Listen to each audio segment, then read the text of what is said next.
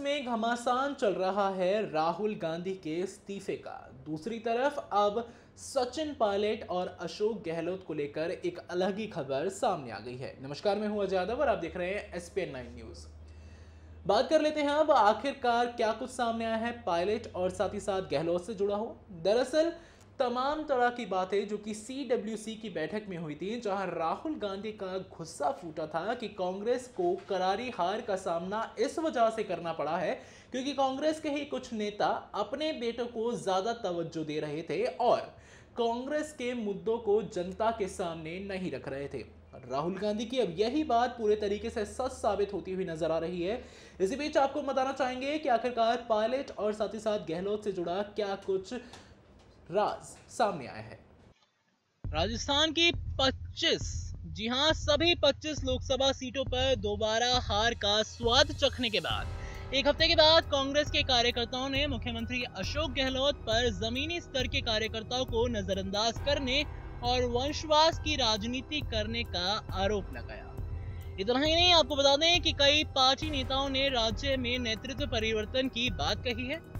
और तो और, कांग्रेस के लीगल सेल के उपाध्यक्ष और जोधपुर से युवा कांग्रेस के पूर्व जिला अध्यक्ष आनंद पुरोहित ने कहा कि कई समुदायों ने कांग्रेस का साथ छोड़ दिया है इनमें ब्राह्मण, राजपूत और साथ ही साथ जाट भी शामिल हैं। उन्होंने ये तक कहा कि यहाँ तक कि जयपुर से मुख्यमंत्री की टीम को भी स्थानीय पार्टी कार्यकर्ताओं पर भरोसा नहीं था जयपुर टीम के द्वारा जिला कांग्रेस कार्यकर्ताओं को नजरअंदाज किया गया। उन्हें पार्टी के कैंपेन कार्यक्रम में शामिल नहीं होने के लिए कहा गया। उन्होंने आरोप लगाया कि जयपुर की टीम ने कांग्रेस अध्यक्ष राहुल गांधी को धोखा दिया। और तो और पुरोहित ने ये तक कहा कि हम कांग्रेस योद्धा के रूप में जन्मे हैं और मरेंगे भी कांग्रेस योद्धा के रूप में। लेकिन जब पार्टी को इस तरह मरते देखते हैं, तब हम खराब महसूस करते हैं। तो वहीं उन्होंने कहा कि पार्टी की समस्याएँ की जड़ें मुख्यमंत्री से जुड़ी हैं तो वहीं आपको बता दें कि शाश्वत ने कहा कि साल 2014 लोकसभा चुनाव में पार्टी के खराब प्रदर्शन के बाद पार्टी ने सचिन पायलट के नेतृत्व में स्थानीय निकाय चुनावों और पिछले साल हुए विधानसभा चुनाव में भी वापसी की थी और सरकार गठन किया था। उन्होंने कहा कि ज़्यादातर जातियाँ मुख्यमंत्री से खपा हैं। यही वजह है कि उन्होंने चुनाव में भाजपा को वोट दिया।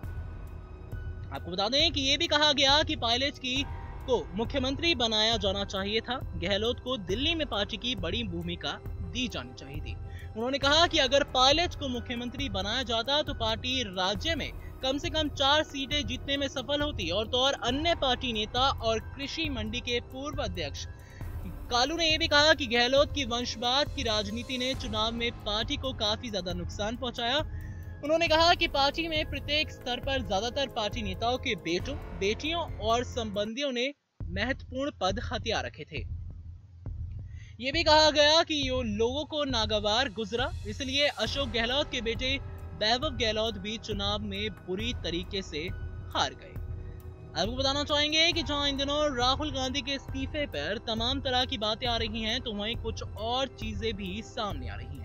लोकसभा चुनाव में पार्टी के निराशाजनक प्रदर्शन के बाद राहुल ने कांग्रेस कार्य समिति की बैठक में इस्तीफे की पेशकश की, लेकिन सीडब्ल्यूसी के सदस्यों ने सर्वसम्मति से उनके इस्तीफे को नामंजूर कर दिया।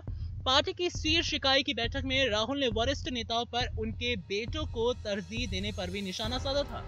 पार्टी के सूत्रों ने बताया कि राहुल ने गहलोत, मध्य प्रदेश के मुख्यमंत्री कमलनाथ और पूर्व वित्त मंत्री और पार्टी के वरिष्ठ नेता पी चिदम्बरम पर पुत्र मोह को लेकर नाराज़गी जताई। पार्टी के वरिष्ठ नेतृत्व पर निशाना साधते हुए सिंह ने कहा कि राज्य सरकार केवल दिखावे में विश्वास करती है, जबकि ज़मीन पर कुछ नहीं दिख रहा है।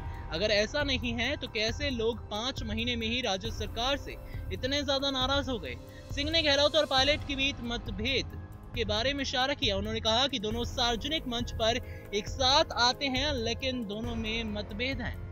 जी हाँ पायलट और साथ ही साथ गहलोत की असलियत जो सामने आई है, वो सामने आई है सिंह के द्वारा और उन्होंने बता दिया है कि कांग्रेस को जो तगड़ा झटका लगा है, वो इसी वजह से लगा है क्योंकि गहलोत और पायलट में मतभेद है। साथ ही साथ उनका ये भी कहना लग रहा है कि भाई, उनकी असलियत यही है।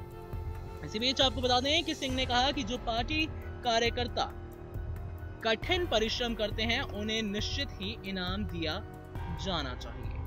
खैर, अब देखते हैं आखिरकार कांग्रेस में नया फैसला क्या लिया जाना है। एक मंच पर रहते हुए भी दोनों के मतभेद साफ़ देखे जा रहे थे, लेकिन इसी बीच खबर ये भी आ रही है कि भाई, ये जो बेटों को ज़्यादा तवज्जो दी कांग्रेस नेताओं ने, इसी के कारण कांग्रेस को करारी हार का सामना करना पड़ा है। खैर, ऐसी तमाम अपडेट्स के लिए आप जुड़े रहिए हमारे चैनल एस पी न्यूज़ के साथ। साथ ही हमारे चैनल को सब्सक्राइब करना ना भूलें। बेल आइकन को भी दबाएँ ताकि आप एक भी अपडेट मिस ना कर सकें।